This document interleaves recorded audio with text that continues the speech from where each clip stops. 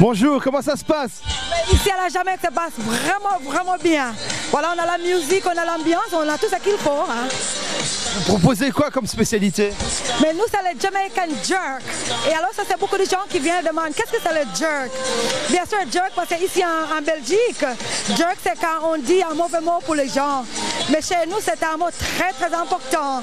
Parce que c'est qu'on fait, par exemple, le jerk chicken, comme vous voyez là-bas. Voilà, on fait le jerk fish, on fait tout à la Jamaïque jerk. Et ces derniers temps, on a même des jerk rabbit. C'était vraiment, enfin, c'est quelque chose de très spécial chez nous.